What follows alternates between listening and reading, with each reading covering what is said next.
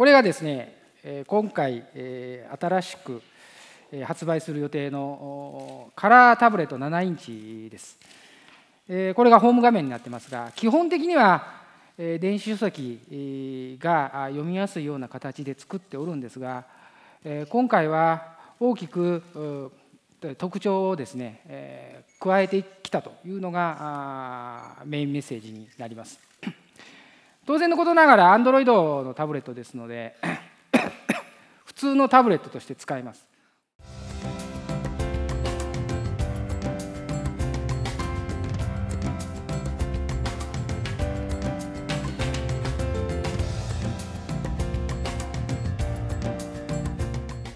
回の新製品は前回と比べて解像度がかなり高いものになっております。スペック的には 1900×1200 ドットの高インチのパネルを使っております。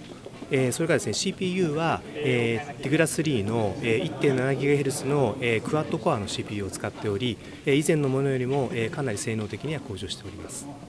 できるだけ Android と一緒になったような感じの使い方をご提供させていただいております。こちらがまずあのホーム画面になるんですけどもホーム画面から左に行きますと楽天のゲートウェイのソフトが使えるようになっております。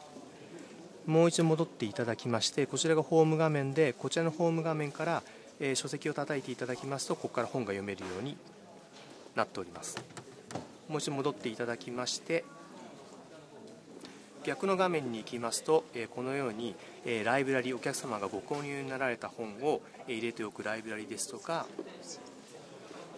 こちらの、シェルフを叩いていただきますと、楽天のさまざまなアプリケーションを使っていただく画面に遷移することができます。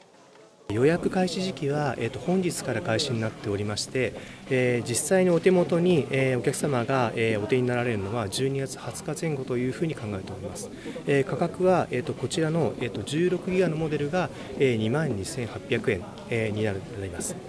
えー、こちらの端末は、えー、楽天から、えー、提供している、え、提供しているデバイスですので、え、こちらの端末を買っていただいて、え、こちらの端末で、え、サインインしていただいてから、え、1年間に限りまして、え、楽天市場、え、それから楽天ブックス、え、それから、え、楽天コボ、え、こちらの3つのところで、えー、1年間、え、ポイントが2倍になるサービスを進めさせていただいております。